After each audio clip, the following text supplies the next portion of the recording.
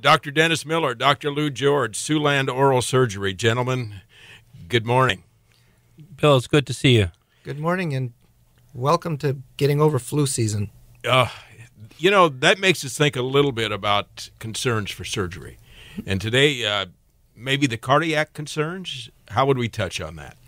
Um, well, as you know, we know we've got some great hospital systems here in the area, and uh, one of the big dynamos for for them is the cardiac care that uh, people receive in the area, and it's it's excellent, excellent care. People are alive today because of that care that 30 years ago wouldn't be alive and here with us today.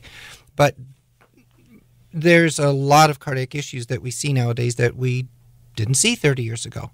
And I think what we wanted to do today was kind of talk about when people come to our office as an oral surgery office, we tend to have a really detailed history and physical on people that a lot of dental offices just don't have because we're dealing with harder surgeries, we're dealing with older people, um, and we're doing sedation. So we have to be a lot more thorough in what we do. And one of the big things is the cardiac history the uh, categorization system that you have. Everybody has a different system. Explain what yours is and why the comfortable the uh, the patient should feel very comfortable.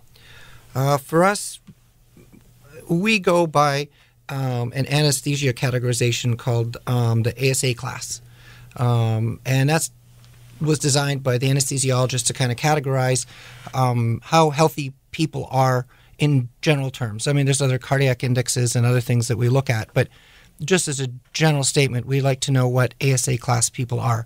So, in its simplest terms, um, ASA class one is a, let's say, a teenager, no meds, no allergies, no medical problems, no surgeries, no social history, just a nice kid.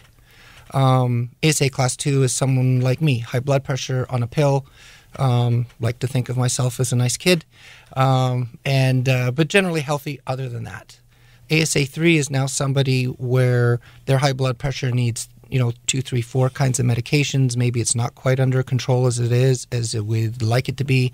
Um, maybe they have multiple other organ system problems, and then ASA class four is a lot of things are just uncontrolled. So if we want to do surgery on people in the office setting we want to do our surgeries on people who are ASA class 1 and 2. So their body, even if you're on one medication, can regulate itself.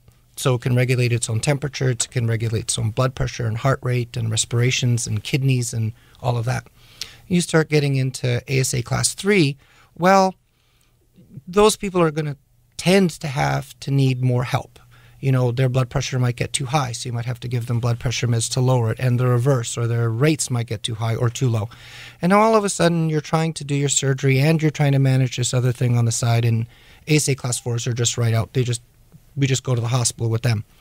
So when we're seeing patients, we see the ASA class threes and fours, and a lot of people from the nursing home in a consult to try and figure out where they are and then get a history and physical from their medical doctor and a cardiac workup. And then we can see if they're stable enough to do surgery in our office. And it also depends what we're doing. You know, if we're just doing one tiny little tooth that's kind of wiggling, okay, we'll probably do an ASA class three.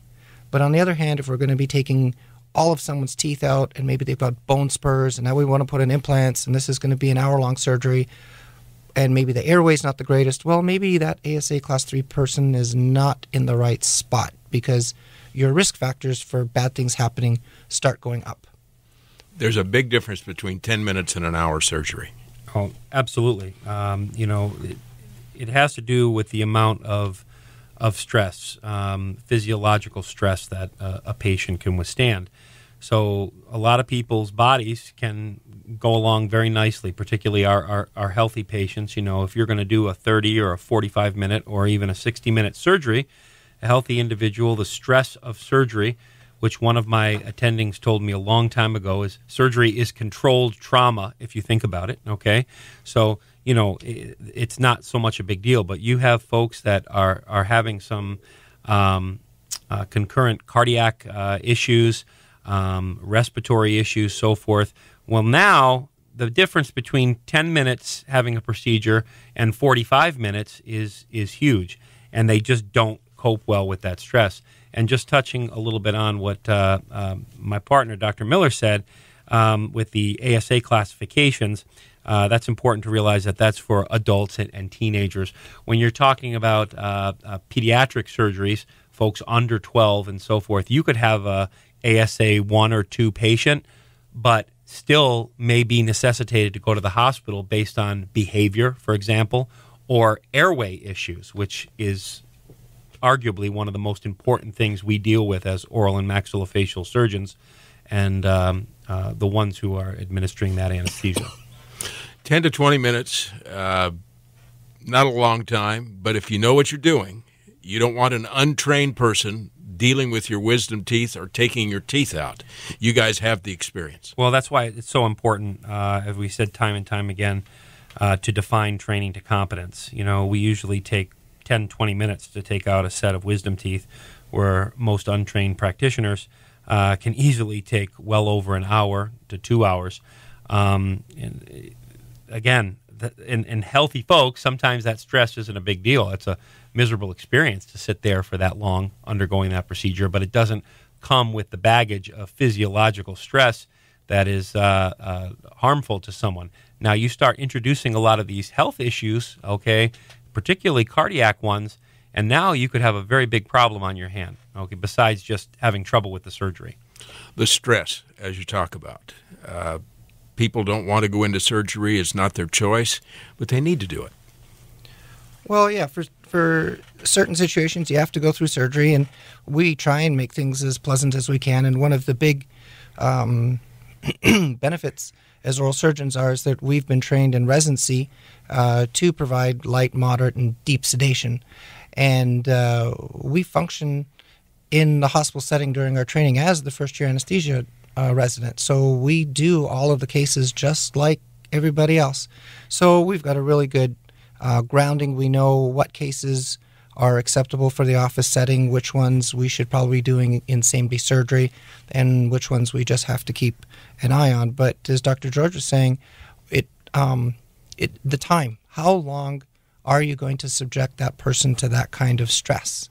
Um, and what are you going to do to mitigate that stress? So we can mitigate it with the sedation, but how long do you want to do that? You know, if we can get a surgery done in 10, 20 minutes, that's certainly going to be a lot better for that patient versus sitting, you know, under the knife, if you were, for an hour or two. And so this is what we're talking about uh, training to competence. Well, you want to be in the right mindset as you go in. You want to make sure you've got professionals that are taking care of them. And my guess is you guys do pretty good follow up with them as well to make sure they're comfortable and everything worked. Right. Um, we do that two different ways. We give everybody a phone call the next day, post op phone call, um, and just make sure they're doing okay. And if we know they're having problems, we give them a, another call a day or two later. And and of course, they're always welcome to call our office and you know talk to us or come on in and have us take a look. And then we have um, a third party um, evaluator call everyone about two weeks later and just see what their experience was. And uh, of course, we like to hear that everyone had a good experience. But a lot of people say, yeah, we had a great experience, but um, you know, a little bit of positive reinforcement or a little positive feedback. You know, if you guys would maybe do this little thing over here, um, maybe that would make it a little bit better. And we do listen to that. That's mm-hmm. not just brushed to the side or, you know, tossed away. We do pay attention to that, address it in every monthly meeting, and see what we can do. You know, obviously to be uh, better for our referring doctors and our patients. Um, part of what Dr. Miller said, uh, checking in on the patients afterwards, obviously post-operative is is huge. I, I do want to uh, definitely ring our office's bell a little bit and uh, also say that we try to be extraordinarily thorough pre-operatively, picking out some of these issues that uh, Dr. Miller and you discussed a little earlier, Bill. Okay, for example, cardiac issues. If we have any questions, concerns, or even doubts, even if there's nothing uh, you know, written extensively on the patient. We can tell after examining the patient and spending about 10 or 15 minutes with them in a consultation, you know, we will uh, give a shout out to their cardiologist. And basically, if cardiology says don't do it, we find we don't do it. You know, I mean, we're going to follow their guidelines. If they recommend something, you can you can be sure that we are going to take that to gospel. And that's just what we, we, we try to do to get everyone involved so it's it's it's it's a team approach to to this, not just e- in the dental aspect, but also in the medical aspect where we have one of our boots as well. For those listening today, how do they get started if they need the procedure? Uh, well, they first give us a call at 335 1080, Siouxland Oral Surgery, or look us up on the web, siouxlandoralsurgery.com, or the short version is samsa.net. If you're uh, needing surgery in your mouth, your teeth, you want to make sure that the people that are doing the work in there have done it before. They're trained, they know what they're doing, and these are two guys that make a big difference. Siouxland Oral Surgery, Dr. Denis Miller, Dr. Lou George. Thanks for the visit. Thanks a lot, Bill. Thanks, Bill. Thanks a lot, Bill.